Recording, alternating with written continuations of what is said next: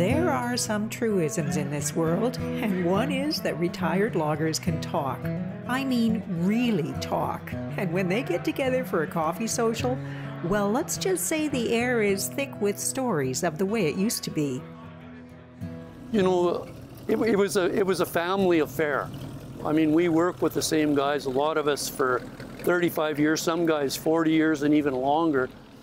And it's it's nice to bring back all those memories, and and now that that era is over, and it's sad.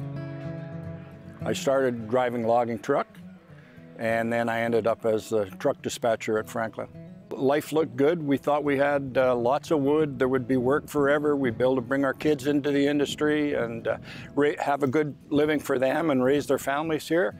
And then I would say in the 1980s, things started to deteriorate with the economy, and then there was a lot of pressure put on the what we call the wood basket, where there was pressure to try and protect much of what we thought was going to be there forever.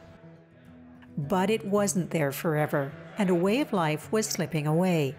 Luckily, a group of volunteers from Alberni Valley Hospice began to collect the stories of forestry industry workers and published them in a book called Vital Voices Alberni Valley Loggers.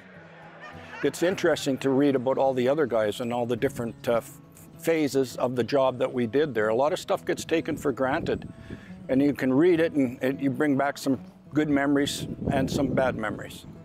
Now everything is just shrunk down, and uh, it's it's sad that that's gone. It, it really is. That's why we have our logging forms to try and present what it was like for a lot of people that either didn't see it or for those that did get to work in it and bring back some awfully good memories. That was the first thing I did. I went and bought one of those. And it just, you start reading, oh, I know that guy, or I know that situation, or what happened, or whatever. I think it's awesome. Vital Voices is available for purchase at the Hospice Community Office on 10th Avenue.